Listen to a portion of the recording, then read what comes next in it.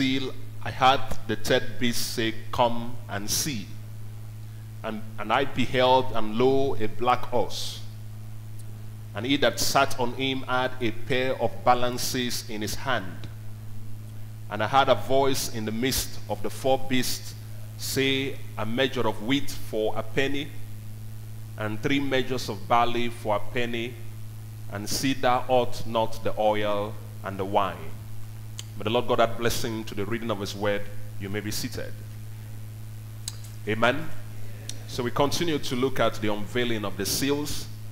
I hope we appreciate what we're doing so that you we could just run through it like a, like a train. But that's not the way to gain revelation. So we're going this slowly so that it becomes part and parcel of us. Remember that it remember that it was said that um, he that hath an ear, let him hear what the Spirit said unto the churches. So it's not just an isolated message that we need to triumph.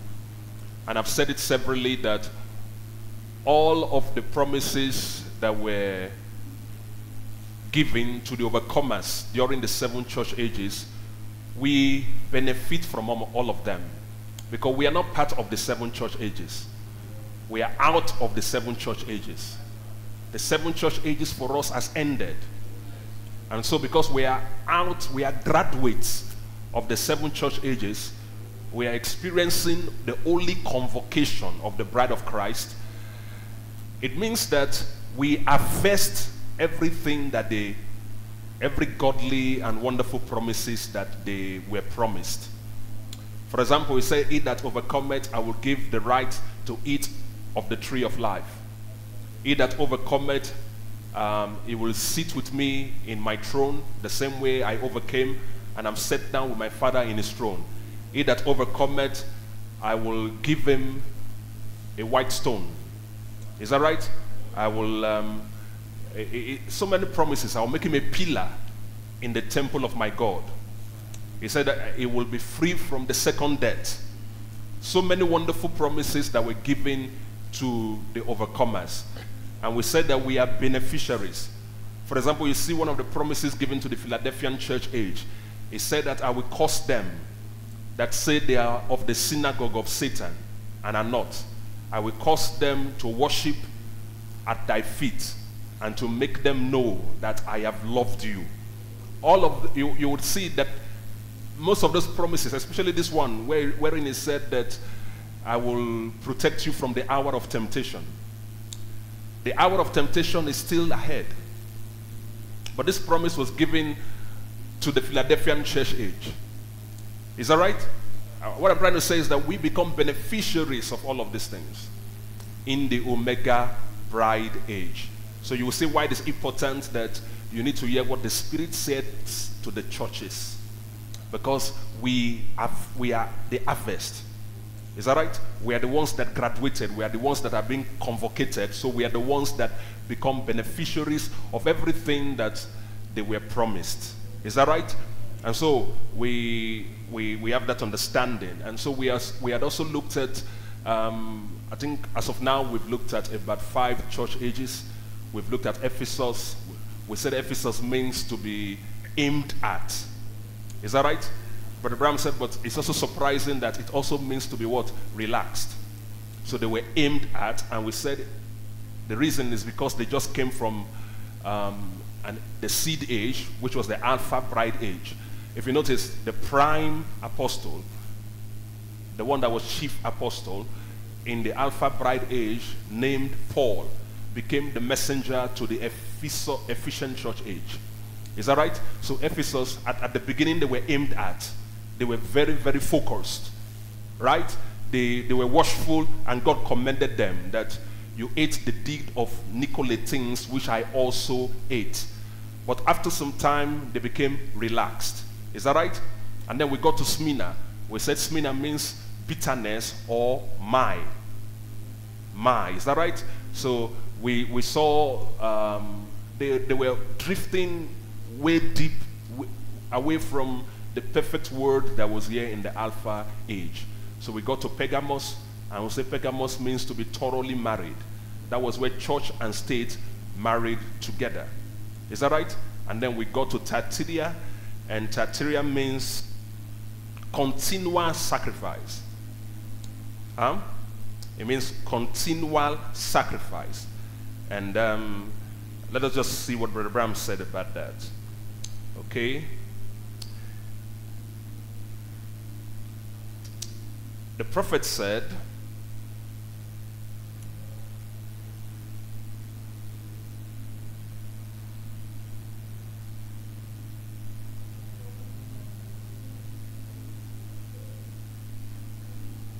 Okay? Now, the Thyatiran church age, this is um, 8th of December 1960. 8, you know, Brother Branham preached the ages before the book was grammarized. I don't know if you remember. In the 1960s, Brother Branham preached the ages. It, was, it started from Revelation chapter 1, the revelation of Jesus Christ. It began to build up like that. So that you will see some messages are titled Revelation chapter 5. Revelation, these are how the prophet built. So when he had done preaching these messages in the 1960s, then it was now, after that was when Lee Vayle was now commissioned to grammarize it. So Lee Vayle will be listening to the audio of the prophet and will be making notes, trying to put it in a more grammatically correct um, fashion. But after he was done, he would meet the prophet for the prophet to go through it to be sure that he has not deviated or added something different. Is that right? So you hear Brother Branham mentioning that about what they were doing as they were grammarizing. So this is from what we're going to read now is from the, the sermon that he preached. He titled it The Thyatirian Church Age. Now, in Paragraph 17, again, 8th of December 1960. Paragraph 17.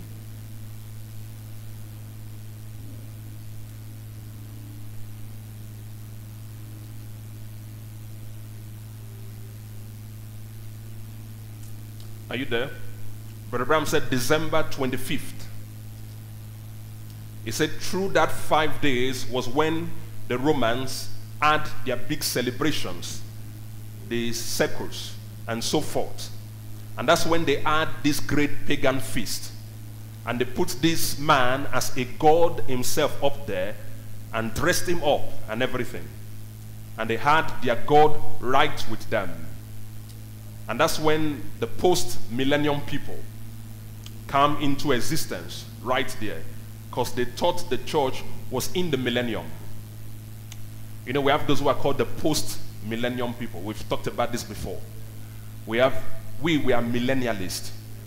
We believe the millennium, millennium is ahead of us. Is that right? But we have those who are the post, they believe we, we, the Catholic believe we're in the millennium right now.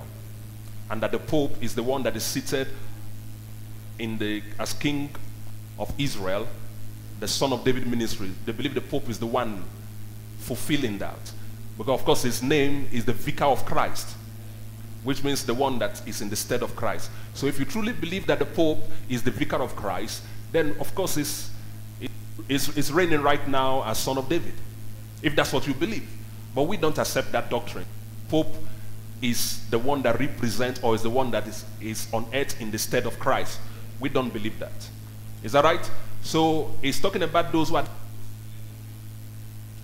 the, the, the post-millennium people, they come into existence right there because they thought the church was in the millennium right there. Because the church was rich and they had need of nothing. Of course, we're going to see later why they were rich, how they became rich. So they had need of nothing, state and church all together. They say, oh, millennium is on. It's still a Catholic teaching till this day. See, now the millennium on, for we know that that's wrong. That's wrong. The millennium, the second coming of Christ, brings the millennium. Do you believe that? Now, but of course, you know, it's very clear to you that most people in the message believe they're in the millennium. Hope you know that. There's some people in the message who believe they're in the millennium, which is a wrong doctrine. A very wrong doctrine. They believe that they were raptured in 1963 and that immediately they came back to the earth to live to, um, to have the millennium. That's what they believe. And then we have those who, um, many of them also believe that the Armageddon war has been fought. They believe that tribulation is over. The three and a half, these things were literal promises Brother Branham spoke about.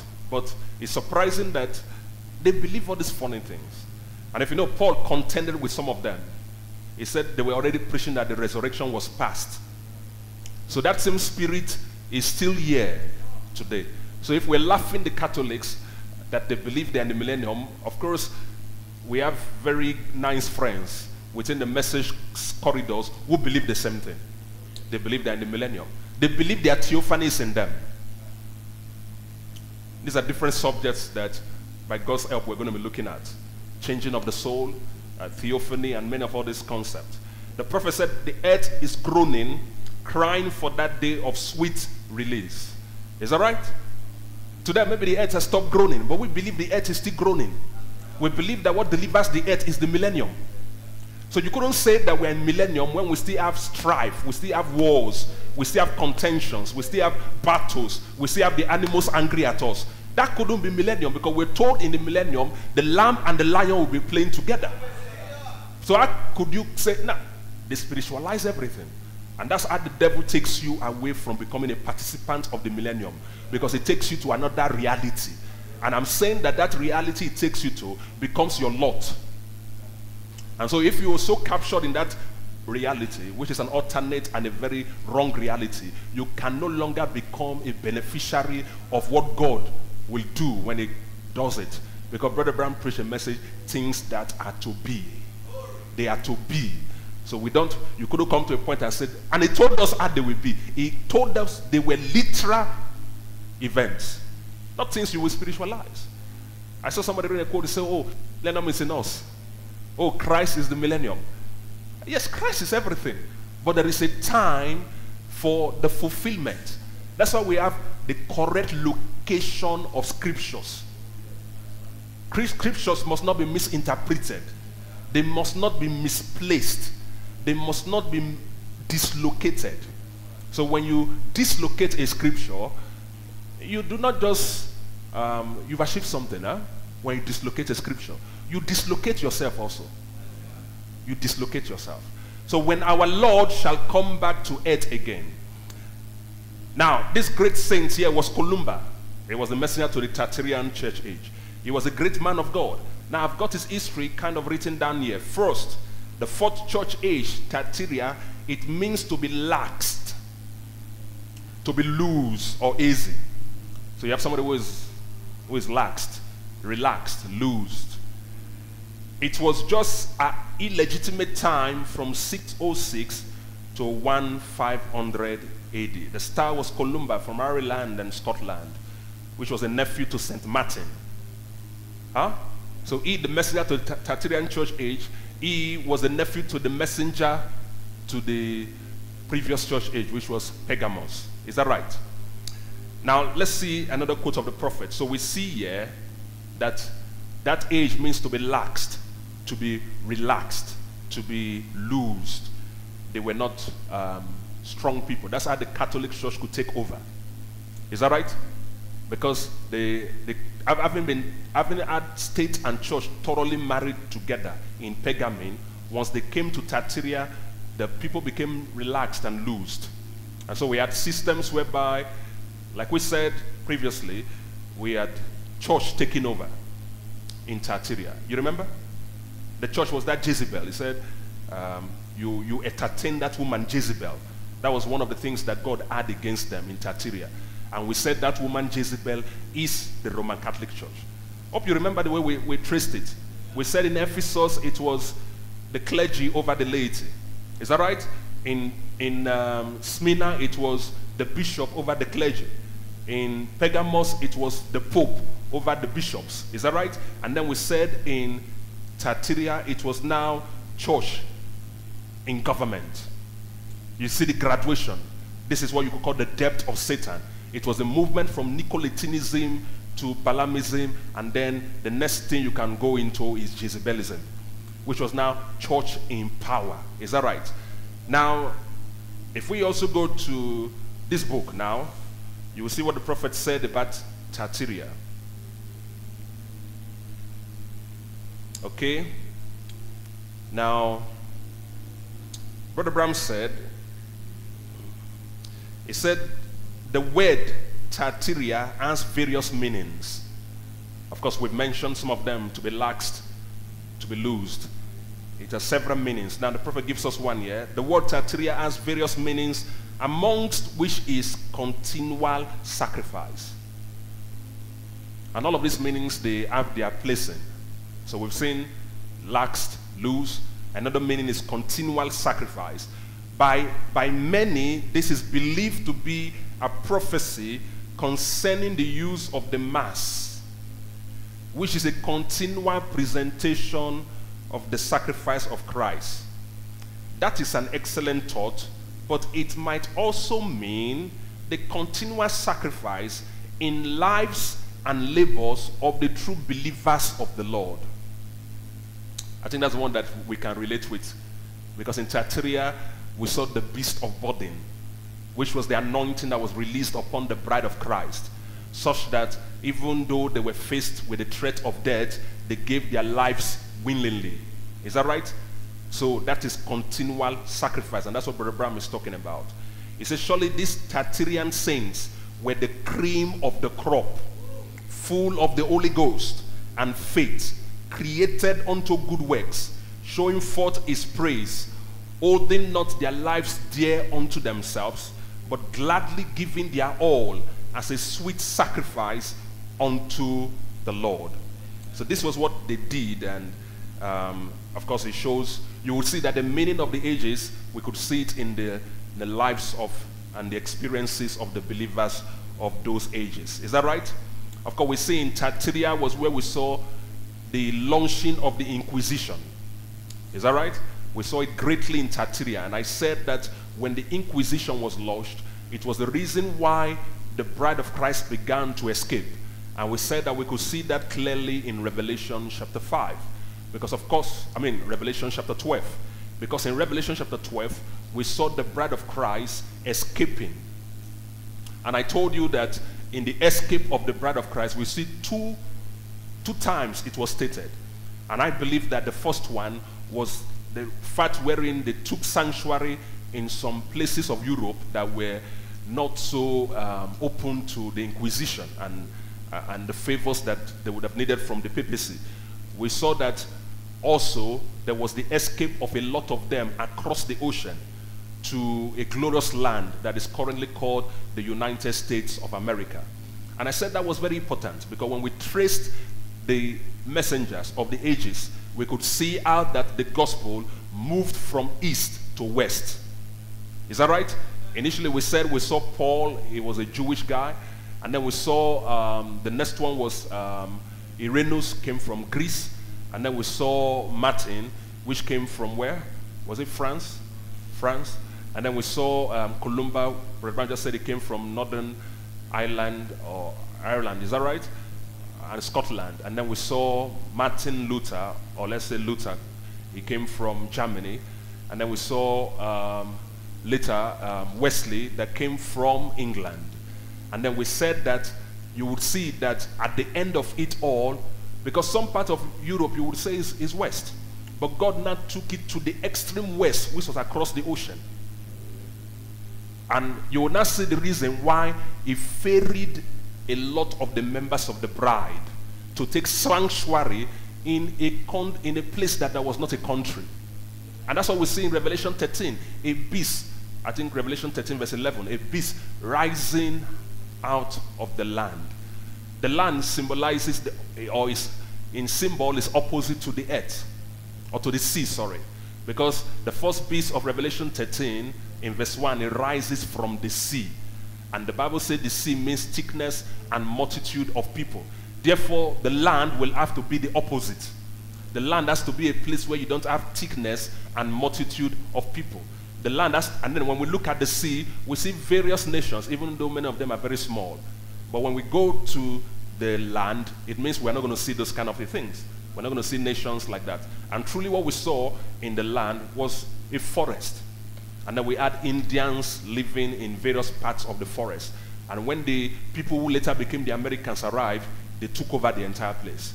And then we said that it is not surprising that the last age messenger came from the United States. And so we could see how that the fact that it was his ancestors that left Europe fleeing persecution. Is that right? We said both they wanted religious freedom and economic freedom. And so when the beast rose, he rose with two horns. It was a, it was a buffalo beast. It was not a lamb, but it spoke like a lamb. It's, it rose the first time innocent as a lamb, separated state from what? Religion. Is that right? Separated state from religion. Which, of course, the age they were running from, it was, before that age, it was um, state and, and the religion thoroughly married. That was pegamy. So that's very clear. Is that right? And so now we, we now come to the Sardisian churches. But before we go there, let me go to the resume of the ages and see some of the things that the prophet said. As we try to. Okay? Now, in the resume of the ages, Brother Branham was making this point. He said, for the clergy to organize themselves, I've read this many times, but for the clergy to organize themselves with one rank over another until they are finally headed up by a president. You know that spirit is still on the earth today, having rank over each other. And so you see a minister comes, he lies down flat before his spiritual father. Uh, he believes that that is how his ministry grows, and it works for them, anyways. But it's a worship of man that we do not believe. It is the height of Nicolaitism. That's what it means. The, the great height of Nicolaitism and Balaamism. That's what it is. But, they, but you know, Satan will always make it. Um, you know, God said He will send them a strong delusion that they will believe the lie. So this is will be working for them, and they will think that is the way it is. And then they will ask you, if it's not if it's not of God, how come it is working? Huh? That's why we don't believe that the means justifies the end. Huh? We don't believe that the means you went through or sorry, the end, sorry, justifies the means, sorry. The end, the result you get does not justify how you got the result. So what we, that's why Brother Branham said that one of the mistakes they made was to go with experience instead of the word of God. So they went with their experience. Look, you could have a good experience, but it could just be you were lucky at that time. You can't use that experience as a doctrine. You can't use it as a doctrine. You may have been lucky at that point in time. But you'll be surprised that if somebody else went in that same experience, they will not get the result you got. But if it's scripture they followed, they will get the result all the time. That's why you can't use your experience to become a doctrine. But we have this system today that um, a lot of people are caught up in. They will tell you that if you want to have a great ministry, you must submit to somebody that has a great ministry. And so, even if, if, the person who has a great ministry is not doctrinally sound, you will have to submit to him because you want to have a great ministry. So, they are thinking about their pocket. And that is not scriptural. Now, we said for the clergy to organize themselves with one rank over another until they are finally headed up by a president is a manifestation of the Antichrist spirit, regardless of how wonderful and necessary it may seem. If you want to follow scripture, many times you will have to fight with experience. I'm telling the truth. You will have to fight because you will see people who have gone the wrong way, they have excellent results. So even though it seems wonderful and necessary, if it's not scriptural, we don't follow it. We don't follow it. It is nothing but human reasoning taking the place of the word. And any person who is in the organized denominations is right in the midst of an antichrist system. Now, let me say this and make it very plain. I am not against the people, I am against the system. With a church and state union, the stage has been set, the prophet said, for the dark ages. And indeed, for about a thousand years, the church went into the depth of blackness, knowing the depths of Satan when any religious people embrace both Nicolaitanism and Balaamism and have the political, financial, and physical power to back it up, there is only one direction they can go, That direction is right into the Jezebel doctrine. Now, why do we say this? Because as we pointed out in the study of the fourth age, that Jezebel was a Sidonian, the daughter of Ethbaal, who was king priest to Astarte. This he was a murderer. This woman married Ahab, king of Israel, for political expediency. She then took over the religion of the people and murdered the Levites and erected temples wherein she caused the people to worship Astarte, Venus, and Baal, the sun god. Hope you understand now. Astarte, that's where you got Easter. It's, it's a celebration in honor of um, Easter. It's a celebration in, in honor of the Venus god. Are you with me? Then Christmas is a celebration of the sun god, which is Baal. This is why we don't celebrate these two feasts. If you told us Merry Christmas, we'll tell you God bless you. We don't tell you same to you. Huh? We don't tell nobody Merry Christmas. Even if you show us a quote, we don't tell nobody Merry Christmas. Huh? Do you understand that? We are practical people. I couldn't tell you Christmas is wrong and then I'll be telling you Merry Christmas. I mean, I don't understand. It's a celebration, it's a pagan celebration. It's a real pagan celebration. So she formulated the teaching and made a priest teach it. And they in turn, so you see Jezebel here, you can put the Roman Catholic Church. The Roman Catholic Church formulated the teaching and made a priest teach it. Are you seeing that? And they in turn made the people accept it. There you can see exactly what the nominal church was in the dark ages. They left the word of God entirely except for names and titles of Godhead and a few scriptural principles. They twisted what they did take out of the Bible by changing its meanings. Their College of Bishops, Ectesera, wrote vast treatises. Their popes declared themselves infallible and said they received revelation from God and spoke as God to the people.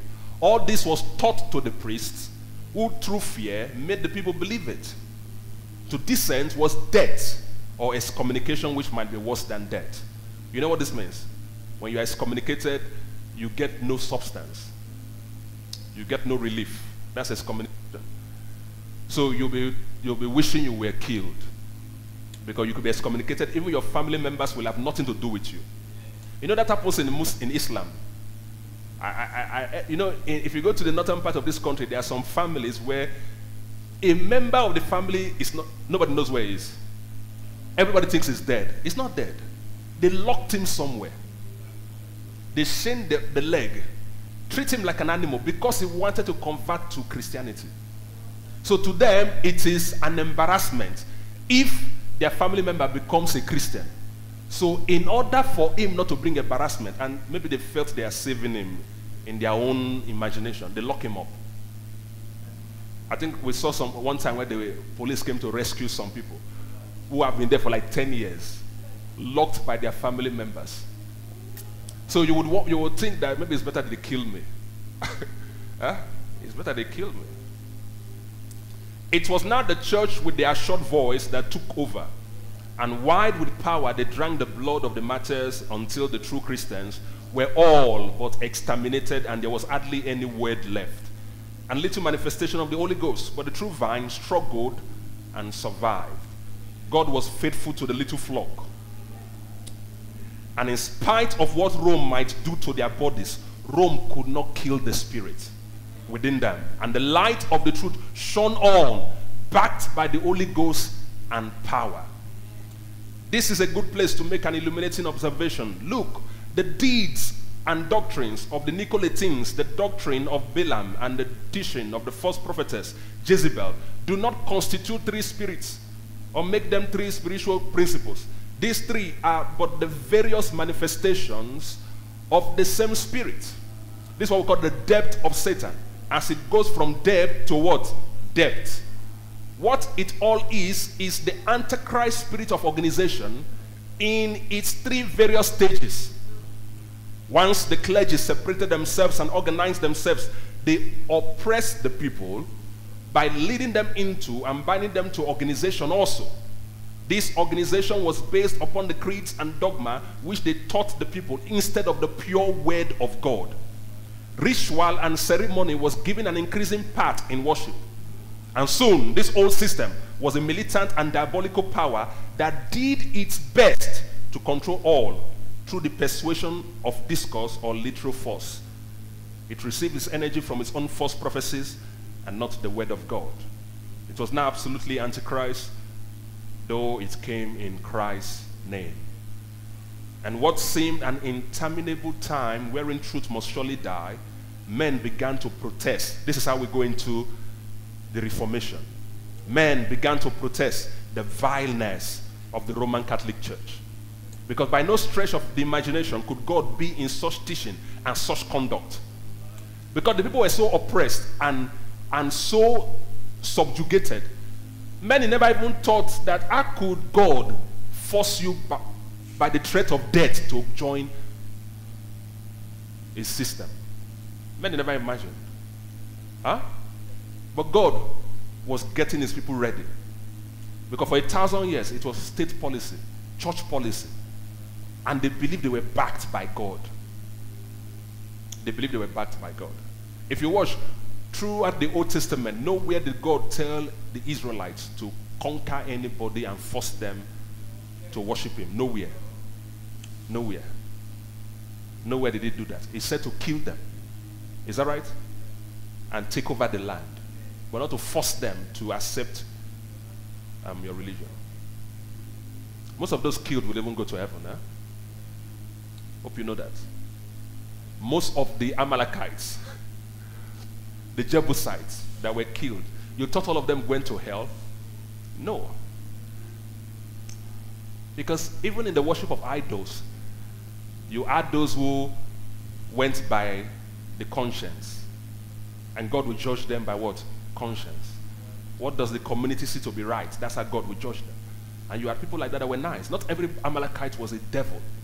The same way, before Christianity came to Nigeria, your forefathers, you, you thought all of that generation went to, went to hell? I don't believe so. Paul said, those without the word will be judged by their what? Conscience. Because we serve a just and compassionate Father. God does not judge without first warning. So why would God send them to hell? Where was the warning? The warning was what? Conscience. So it's not um, the same way. This is how you will understand God. At the time, people who believe in three gods in one, huh? they were born again because that was the available truth. So that's the way God works. That's the way it works. So, but you now state policy where they will have to kill if you don't join the religion. They will kill you. These protests were either disregarded and died from failure to arouse attention or were quashed by Rome. But then God, in His sovereign grace, sent a messenger by the name of Martin Luther. Is that right? To start a reformation. He worked in a climate where the Roman Catholic Church had been given so much rope that she was about to hang herself. Who gave her rope? God. She was about to hang herself. So when Luther preached justification by faith, not justification by church. By what? Faith. Salvation by what? Faith, not by church. Because what the Catholic Church did in that Thyatirian church age was to try to tell the people that you can be saved by church. Do whatever you like. As long as you are a member of the church, you are what? Saved. But Luther came, that's not true. That's not true. It's by what? Faith. The first time we saw the scripture was in the book of Habakkuk. Justification is by what? Faith. Faith. Without faith, it is impossible to what? Please God. What is faith? Belief. Romans 4 3. Abraham believed God, and it was counted unto him for what? Righteousness. His belief, righteousness became credited to him. If you want righteousness, seek God. Is that right? Believe him and his kingdom and his righteousness and all these other things shall be what? Added unto you. So you seek God, the kingdom of God, and his righteousness. All these things will be what? Added unto you. Righteousness is a gift. It's a gift. It's not something that you work out.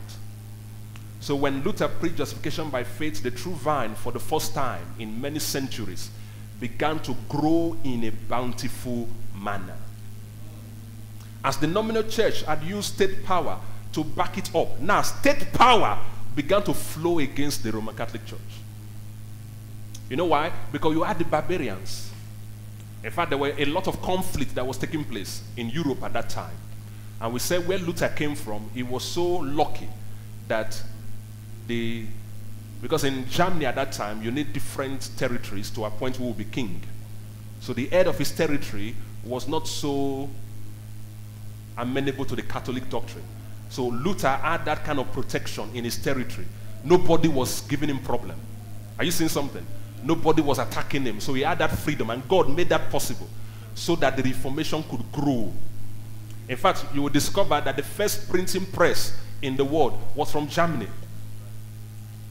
Because that's where they began to print the Bible. Is that right? Before long, God brought about 47 men that looked at the original script. And that was from the, on the basis of that, we got the King James Version, which is the most correct version of the Bible till date. All of this took place. Before this time, you can't, the Bible was taken from the people. They were told they did not have the faculty to understand it, that only the priest could do that. So they took the Bible from them and gave them whatever they wanted. But from this age, we saw the rise of the printing press. And of course, maybe the first time the printing press rose was for some other academic work. But it was God that was leading that charge. So that the Bible could be printed in many copies. And so that his elect can begin to see light from the darkness of the previous age. The prophet said, as the nominal church had used state power to back it up, now state power began to flow against it. And this is where Luther made his mistake. And the true believers, now notice something, what Brother want to say. At the time, the Catholic Church used state power. Now, Luther themselves also now began to use state power, which Brother Branham said was the mistake. They allowed the system to subsidize them. So this age did not launch out very far on the word. That's why they, they, they were not the restoration. That's why they were not the age of total restoration. They couldn't be because they allowed the state to subsidize them. It's a thank God that it did, it did go as far as it did, but because it leaned on political power to a great extent, this age ended in organization. And this very group that in Luther's generation had broken from the first vine now turned back to become a daughter of the harlot. For she went right in into Nicolaitanism. Look at it. The Lutheran church that came out, the Methodist church that came out from Wesley, they all have Nicolaitanism there. Huh? Nicolaitanism is still there. The Methodist church, they have uh, the hierarchical system of the clergy. They have one man, one headquarters somewhere. Are you seeing that? Because even though they were fighting the Jezebel system, they also went into it. But notice what God was doing. That was just the age of reformation. Restoration was still ahead. So they did their best, and it was important what they did. He said they went right into Nicolaitanism and Balaamism. This era had scores of factions within it. And to prove how far they were from the true seed is to merely read history and see how they persecuted each other. Are you seeing that? Even sometimes they killed each other. This was during the Sardisian church age we're looking at now. Are you listening? This is the age of man. Remember that the spirit that God raised to combat the Antichrist system was what? The face of a man. The face of a man speaks of wisdom, intellectualism. That's why the printing press rose. That's why many men came, went to the original scripture, the Greek, to bring the King James Version. It was wisdom of men. Remember, said their shrewdness, their skill, education blossom. And this, if you notice, the Catholic Church in the Thyatirian Church age was against education. They didn't want people to grow far in discovery. Because they felt that if these people went far in discovery, it will hurt the Roman Catholic Church. But God nonetheless released that spirit. And of course, like we said, using the political power, God changed the equation. The church that was in that was in the on the throne in Thyatirian church age was now having some of our, our tributaries countering their move. And this was God. And of course, those that began to counter their move were aligned to the reformists and the Protestants. And in doing so, God was causing his bride to be reformed from the Catholic system. He said, Can you go? Let me read, get the thought of what I'm reading. He said, This era adds cause of factions within it. And to prove how far they were from the true seed is to merely read history and see how they persecuted each other, even unto death in some cases. But there was a few names amongst them, even as there always are in every age. God must have his witness that will not be caught up in the system. Is that right? We rejoice in this age for this one thing. Reformation had started. It was not a resurrection, but what? A reformation. Remember what they are, what the fight is, what the face of a man is fighting. Because when the sound went forth, he said that they were they were having a system wherein they were selling salvation. So you had something like this, you had a scale.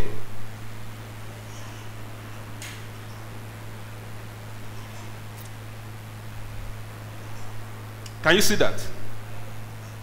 In Revelation chapter chapter 6 verse 5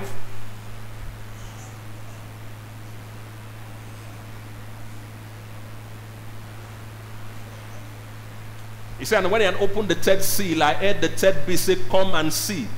And I beheld, and lo, a black horse. And he that sat on him had a pair of balances in his hand.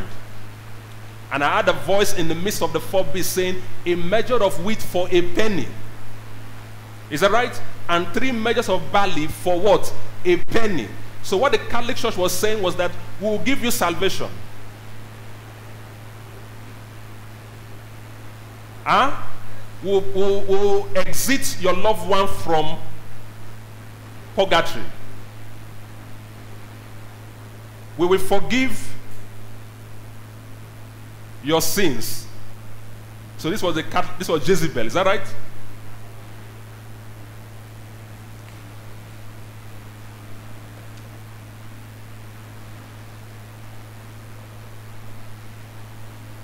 You know, in the Thyatirian church age, it was Jezebel. By the time it came to Sardis, Branham said it became what? Athaliah. Athaliah was the daughter of who? Jezebel. So it came to Athaliah because we're talking about Sardisian church age now. Is that right? The third seal. So we now saw that he's trying to say, I will give you this and many more. All I need from you, bring your land. Huh? Bring your land. Bring your what? Your gold. Bring your gold. In some cases, bring your children. This was what they so they were pricing these things. How many land to get this? How many gold to bring your loved one from where? Purgatory. This is the pair of balances that he had in his hand.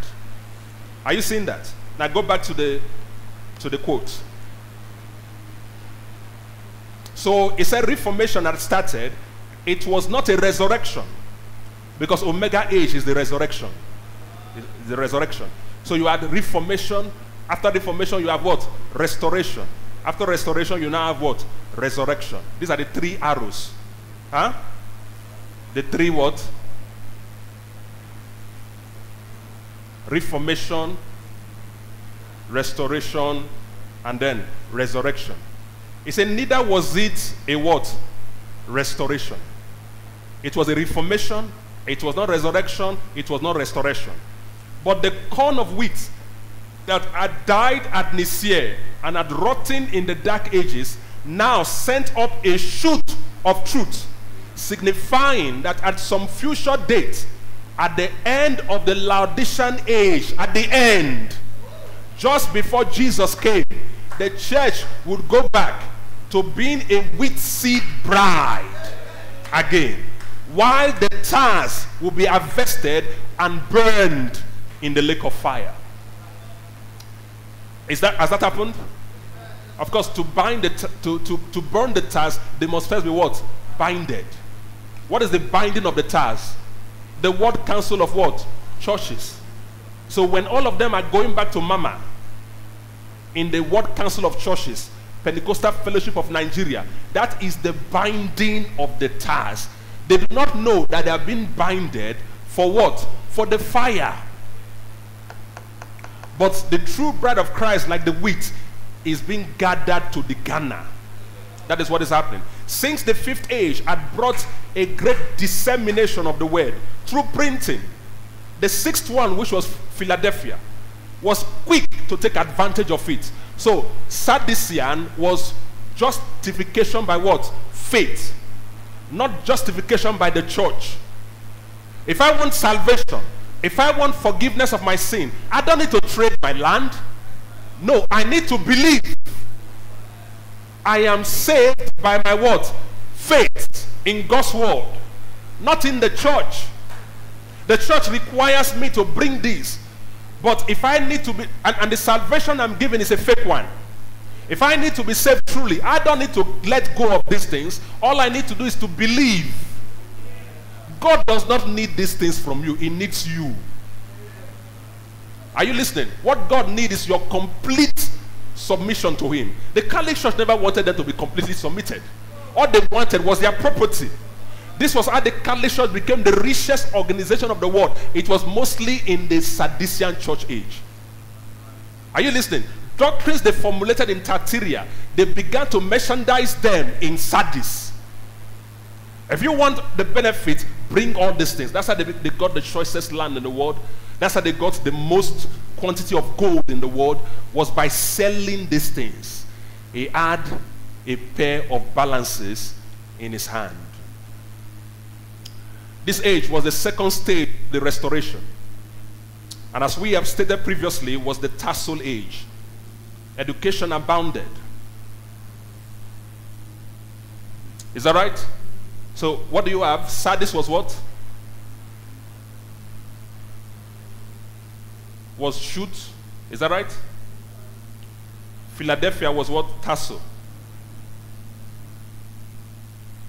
Of course, Philadelphia means brotherly, brotherly love. That's the meaning of Philadelphia. It means brotherly love.